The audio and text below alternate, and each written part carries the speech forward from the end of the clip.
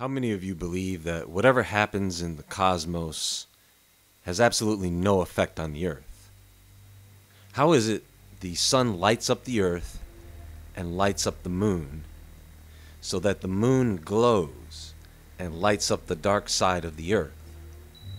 The moon has a low albedo, meaning the surface is not supposed to reflect light that well, but it does and the earth shine, the light reflecting off of the surface of the earth, also contributes to the glow of the moon. You think that is by accident? You think our biology being connected to the moon is by accident? You think the moon sitting up there always showing one side, constantly readjusting itself to do so, is because of nature? You mean to tell me that the moon perfectly covering the sun in an eclipse is by happenstance?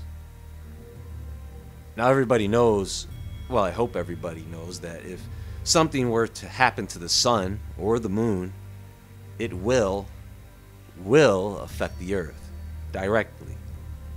We all understand the relationship between the sun, earth, and moon. From a theological position, we would say that was purposed by God. And what we consider to be other planets within our solar system are also purposed. We do know how Jupiter is important for maintaining the asteroid belt. How is that an accident? Some of the planets may play a bigger role than others. The point is, if this system is purposed or designed, what would be the purpose of a black hole? What would be the purpose of a magnetar? As human beings are being blamed for the changing of a climate that has always been changing since the beginning of time, who's to blame for cosmic change?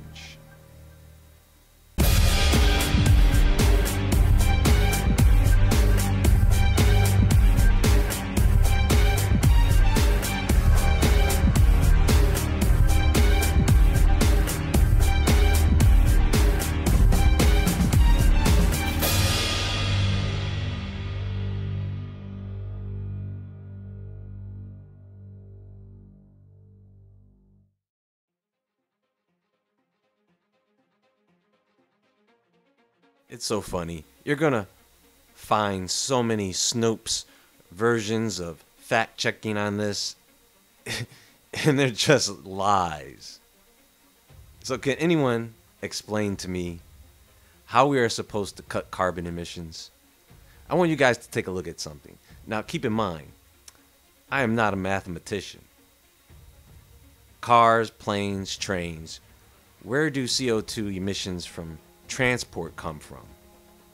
They come from cars, planes, trains. What kind of a crazy question is that, anyway? By Hannah Ritchie.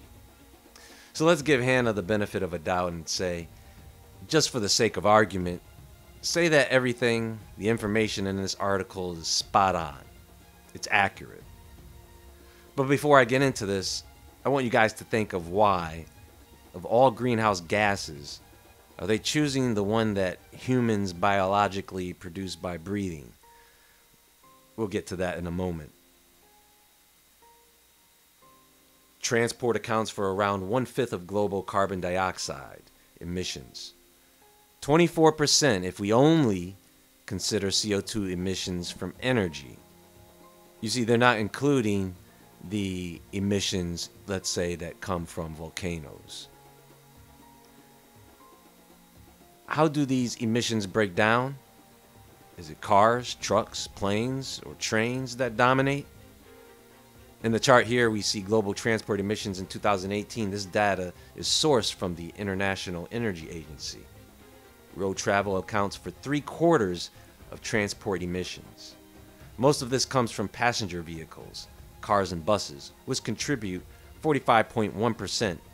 The other 29.4% comes from trucks carrying freight.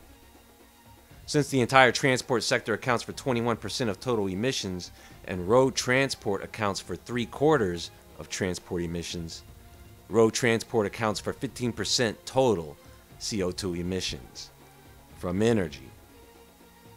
Aviation, while it often gets the most attention in discussions on action against climate change, which is true, and that's where they're going to start to implement these policies, accounts for only 11.6% of transport emissions. It emits just under 1 billion tons of CO2 each year, around 2.5% of total global emissions. International shipping contributes a similar amount at 10.6%. Rail travel and freight emits very little, only 1% of transport emissions. Other transport, which is mainly the movement of materials such as water, oil, and gas via pipelines, is responsible for 2.2%. Now, they say that a human being exhales 2.3 to 2 and a half pounds of carbon dioxide each day. 365 days a year, that is 839.5 pounds a year. Multiply that by 7 billion at the low end, and you get 5.8 trillion pounds, which is 2.2 billion metric tons. Now, that's a considerable amount given the numbers I've just read to you for CO2 emissions from transport and energy. Should we stop breathing? No, because as we breathe out, that CO2 is being processed, filtered out, and converted. So, how much of all of this emitted CO2 is neutralized or processed? And they fail to tell us this because they want you to believe that this is causing the earth to change the way it has been. They are lying to everyone to cover the truth. It's just that simple. And the truth is, the climate is changing because the cosmos is changing. And they've been telling everyone this through the press releases of star explosions, the news about black holes, neutron stars, magnetars, asteroid flybys. You see the bigger picture once you put all that stuff together. Radiation, cosmic radiation, as well as radiation from the sun, is hitting our magnetosphere and it is being redirected into the poles of the earth.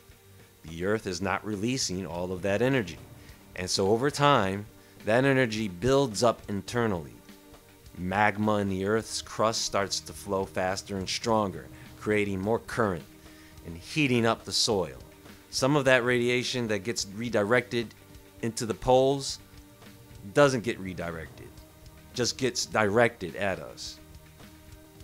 This causes the atmosphere to do several things. For example, compress and heat up. The volcanism on the surface and in the ocean contribute to that. Oh, yeah, big surprise that the hottest month on record was last month. And they keep saying like it's the hottest month on record of the century. This happens every year and has been happening for years. Now, after they get enough people to get on board and go along with us being the cause of all this, what do you think they are going to do next? Tax the air we breathe. They are trying. Some locations have tried to do this indirectly, like the Venezuelan government, their airlines that wanted to tax people for air purification. And this is how it will start off they will indirectly tax our air by saying that it is for the cost of purification under the guise of health and safety for all.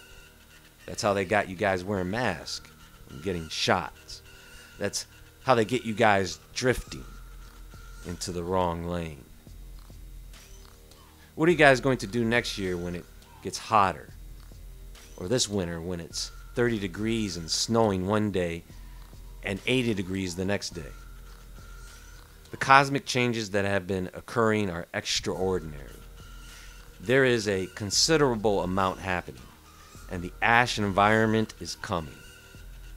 It's here already for some people. Some of you who live out west near or in California know what I'm talking about. All that heat that was out west is moving towards the central U.S. And places like Texas, Oklahoma, Kansas, Colorado, Nebraska, those places are heating up Expect temperatures above 100 degrees in those areas all next week. In an upcoming presentation, I want to talk about neutrinos and how the detection of neutrinos has increased and what all that means because it is a bit complex to get into right now. This is linked to what is happening right now. Believe it, they are going to try and punish us for this. They are going to try and tax us for this. They don't have direct evidence, just theories of lackey scientists. And they will keep pretending like this is just happening, and they will keep saying in 10 to 20 years and 50 years we could be in trouble. No, we are in trouble now. Guys, you don't know how carefully and methodically planned all of this has been for years. Do you know what they have been doing? They have been doing things to make it seem as though all these earth changes are less than what they really are. They have been spraying the skies partly to mitigate the effects of cosmic and solar radiation. Think about GMO foods. Most people think they make GMO foods for the purpose of pest control. Faster growth, larger yield, less expensive, all those reasons, right? What about making GMO foods that are resistant to the earth changes? That way, when these changes start to affect crops and food supply, it won't be as bad. Look at this. This comes from PRI.org. Scientists think GMO crops may help us deal with climate change. Mind you, this was published back in 2016, so how far have they come with this today? I'm not sure. But listen to this Engineered resistance. One crop genetically engineered for drought tolerance is already on the market in the United States. A corn variety called DroughtGard, created by Evil. Approved by the U.S. Department of Agriculture in 2011, DroughtGard includes a protein from the bacterium Bacillus subtilis that Evil says will help the corn remain productive amid water shortages. DroughtGard has also been certified for sale in several other countries, including Australia, Canada, Mexico, and Japan. The market response to DroughtGard has been slow so far.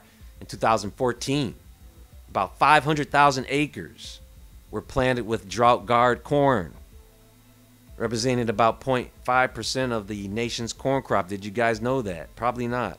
And the results have been mixed. Another crop at the forefront of this new arena of GMO research is soybeans. Look, do I need to read anymore? You've been lied to, you've been duped, tricked, fooled, bamboozled. I mean, don't you guys get tired of living like this, knowing that we are all living under the rule of evil and are being lied to 24 7? Not sometimes, all the time. I bring these things to your attention why? Because it's what you need to know. There is more to come, so stay tuned.